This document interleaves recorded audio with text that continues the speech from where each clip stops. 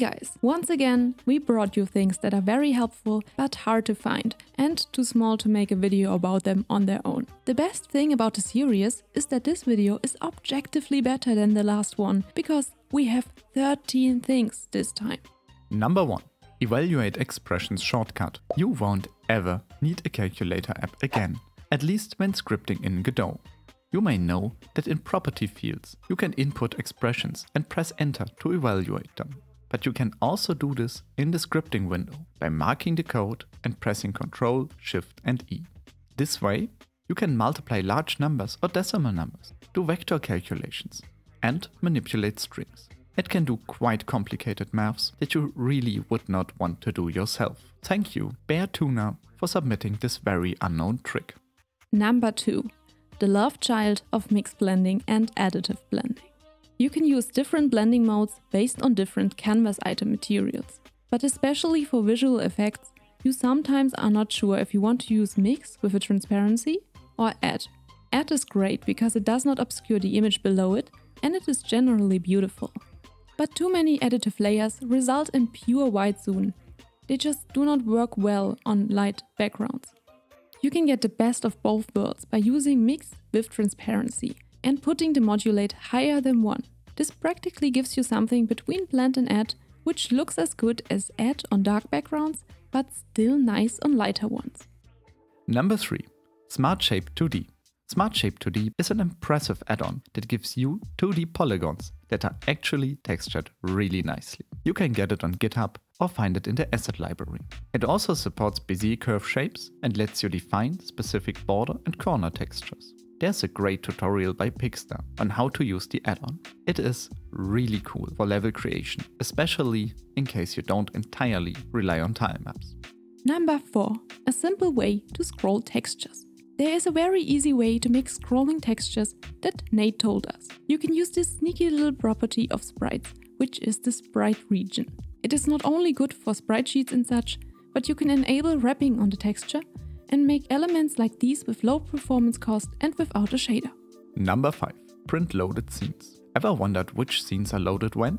We just did, when we tried to reduce our game's startup time. Turns out there simply is an option for that. Just go to Project Settings, Debug, verbose std out. And there you have it. You get these nice little prints in the console whenever anything is loaded. And it also prints memory leaks. Number 6. Ways to draw simple shapes. Many of us use the Godot icon as a placeholder for basically anything when prototyping. However, sometimes it can be helpful to have something other than the little robot face to create some contrast, such as color rects. These control nodes are flat rectangles and you can resize them however you need. For other shapes you can use a variety of draw functions, for example for circles, lines and polygons. Just add a node 2D into your scene, give it a script and add a draw callback function with some draw calls. This is really helpful to draw shapes on the fly when debugging. Thanks Stefano Bertolotti for the tip. Number 7. Draw Offset Property. A draw offset allows to change the center of a graphic. This comes in handy when scaling or rotating the sprite. Sprites have the offset property that also changes where they are drawn, while the control nodes have a pivot offset, which does not change their location. They can even lie outside of the graphic itself. Number 8. Attach metadata to objects. Metadata is a very powerful tool when dealing with dynamic data and for debugging. You can just attach any key value pair to any node or type that inherits from object. Just call set meta. Later you can check if the object has specific metadata with has meta and get the value through get meta. For example, you can annotate when an object was created or where. You can use this whenever you don't want to add variables. This trick was posted by Winston Yellow, who uses this for marking meshes. Really cool, thanks. Number 9. Size of children in containers. Containers are very helpful tools when creating UI. They resize and arrange their children nodes automatically. When you instance these child nodes programmatically and need to know the resulting size or position, you cannot access it in the same frame as the node was added to the container.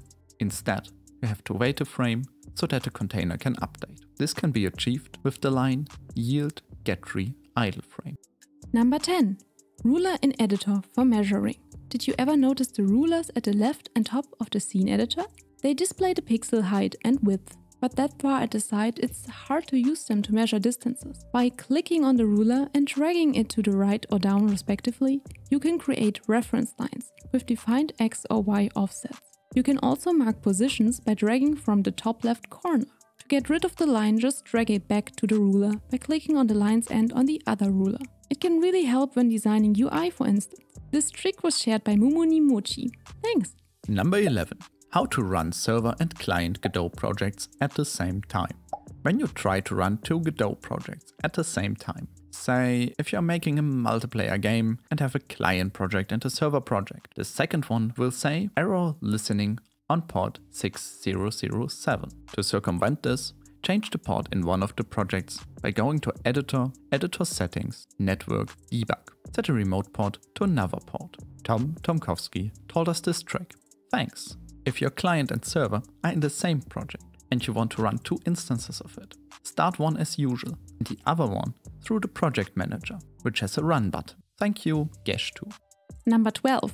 Remap navigation buttons for 3D. In the 3D editor, you normally orbit with the middle mouse button and when pressing shift, you can pan. To change the settings, open Editor, Editor Settings and search for navigation. There you can set orbit, pan and zoom buttons. The option Emulate 3 button mouse allows you to use the function of the middle mouse button without pressing any button, just by moving your mouse and pressing the modifier button. This one was submitted by Saponev Games. Thank you! Number 30. Choose the size for generated textures. Be aware of the default sizes of curves, noise textures and gradient textures. You can set them. Oftentimes, they are set to a very generous amount that you will likely not need. For example, take a look at this particle system. We vary the color over its lifetime, based on this gradient texture. Works quite well, but do we really need a 2048 pixel texture for the color of a particle that only lives 120 frames? Especially with simple gradients, you can reduce this amount quite a lot, because there's still linear interpolation going on. This one looks good, down to about 5 pixels, but we can generously give it 20. These are still 2000 pixels less. We hope this was helpful for you. If you want to learn more things about Godot, subscribe to this channel. If you like that video, show us by pressing that like button. Many of these tricks come from our awesome community. So if you have a useful Godot trick to share, put it in the comments. We would love to read it. Oh, and by the way, we are working on a colorful roguelike that is called Us Fungeon. If you want to see us progress, check out our devlog. Have a nice day!